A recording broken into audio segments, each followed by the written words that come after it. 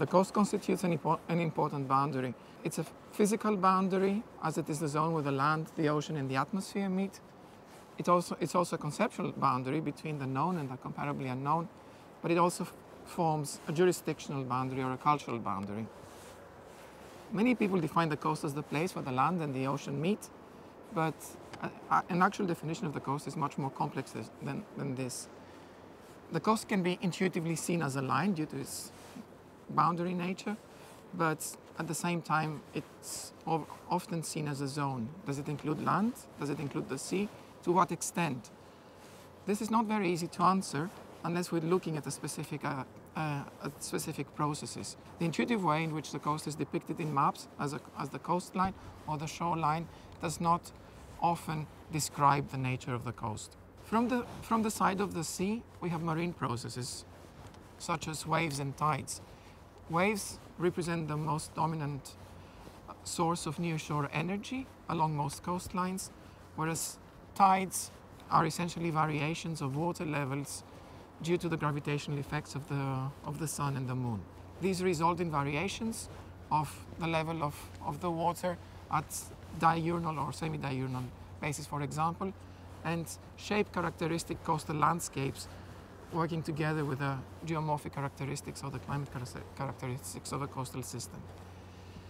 The natural systems eventually include distinct features and ecosystems such as rocky coasts, beaches, barriers, sand dunes, estuaries or lagoons, deltas, and these elements in many cases help define the seaward and landward boundaries of the coast.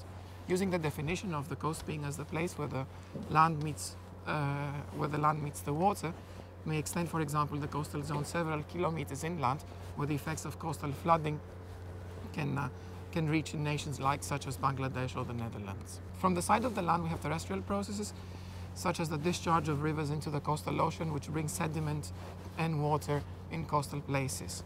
At the same time, we have to keep in mind that the coastal zone is one of the most densely populated zones on Earth. It has a population density which can be two to three times higher than the population density further inland and includes many of the world's largest urban centers.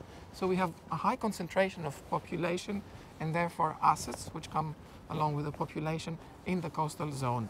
We believe that more than 10% of the global population lives in the low elevation coastal zone, which is the, the land area with an elevation below 10 meters, uh, hydrologically connected to the sea is, uh, uh, represents only 2% of the global land area and includes more than 10% of the global population.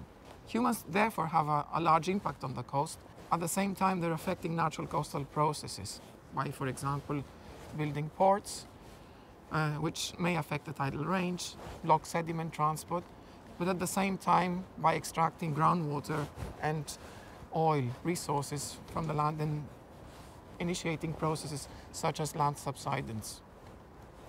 Humans also affect uh, natural processes far away from the coast by, for example, damming ri rivers or deforesting lands, leading to increased erosion and therefore increased sediment supply at the coast.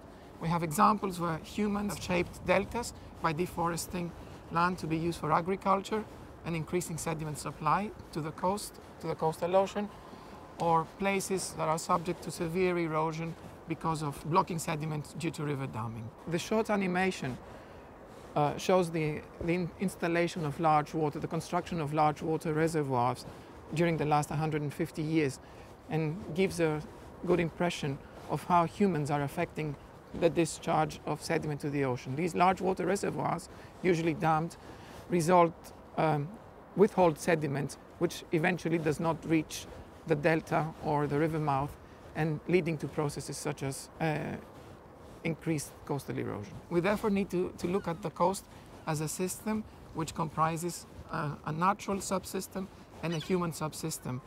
And we need to study the interactions of these two systems in order to be able to understand how the coast will respond to natural, for example, climatic or socioeconomic uh, pressures.